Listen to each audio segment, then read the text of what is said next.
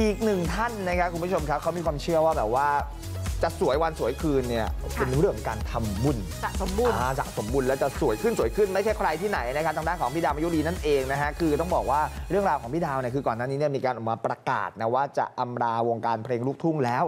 แล้วก็จะมีผลงานทิ้งทวนด้วยนะฮะแต่ว่าก็มาเจอเรื่องของโควิด -19 ซะก่อนนะครับตอนนี้เนี่ยพี่ดาวเนี่ยเน้นเป็นสายธรรมะนะฮะแล้วก็มีเรื่องของของสายธุรกิจด้วย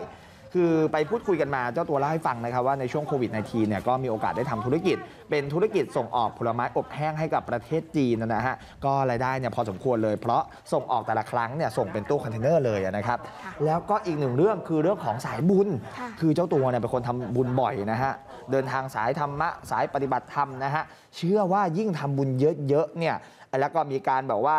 เอ่อนึกถึงบุญมั่นสวดมนต์แผ่เมตตาเข้าไว้ตรงนี้เนี่ยจะทำให้เราสวยวันสวยคืนด้วยอะนะฮะค่ะนอกจากนี้ครับแล้วก็เล่าให้ฟังมีเรื่องของการดูแลสุขภาพตัวเองด้วย มีการออกกำลังกายทานอาหารที่มีประโยชน์นะฮะในเรื่องของการอำลาวงการเนี่ยเจ้าตัวบอกว่าแค่ไม่รับงานคอนเสิร์ตแต่ว่างานพวกรายการพรีเซนเตอร์ยังคงรับเหมือนเดิมนะฮะส่วนเรื่องในการตัดสินใจ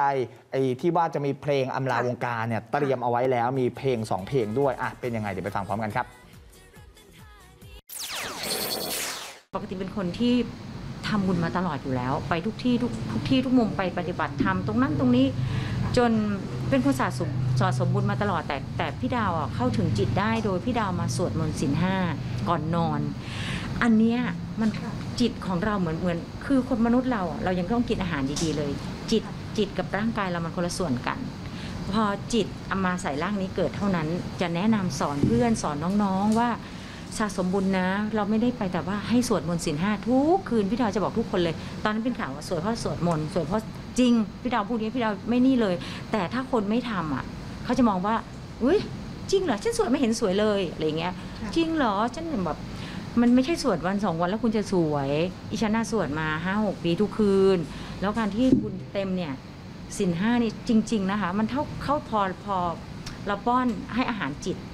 ป้อนทุกคืน ทุกคืน ทุกคืน จากที่เมื่อก่อนพี่ดาวเป็นคนถามอะไรมาพี่ดาวตอบปุ๊บปั๊บปุ๊บปั๊บตอบถามมาตอบไว